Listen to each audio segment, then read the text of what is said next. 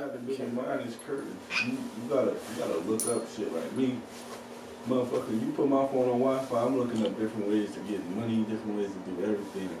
I'm not living no fucking boring life on some shit or just working at a fucking Dunkin' Donuts or some shit. Never. Never my own money. So basically, niggas, I got my own shit in my head. I already know what you gotta do. If you gonna stay here, you gotta find a way to reach the whole world from here. From here. If you gonna hit Atlanta, you good. Just just turn up, be in the mix. Eventually, somebody gonna speak to you. Go gonna Chicago? Don't don't fucking go there. You gonna get whacked. it's curtains. It's go, curtains. go to Atlanta. The down south people friendly as hell.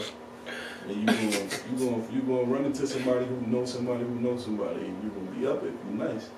There'll be a lot of ass niggas with the resources, but all the hot niggas don't got the resources to get down there.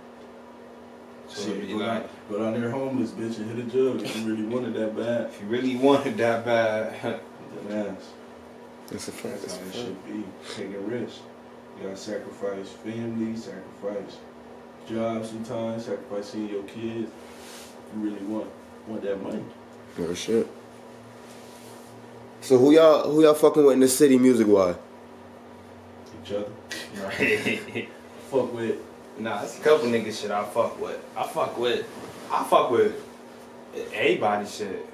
To be honest with you, like I don't bump famous nigga shit like that. Me That's like you can ask anybody from like the town that ride with me or ever rode me, and I ever had like, I don't bump famous nigga shit. I bump our shit. Like ain't none of that.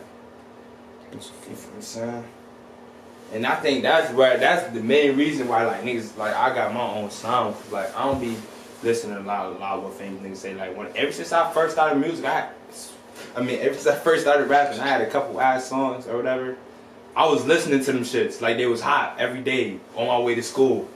You feel what I'm saying? Headphones in, listening to them shits like they fire, rapping them shits out loud like they fire. Bitches, who's that? Shut the fuck up. You feel what I'm saying? Like, like, just gotta rock out, man.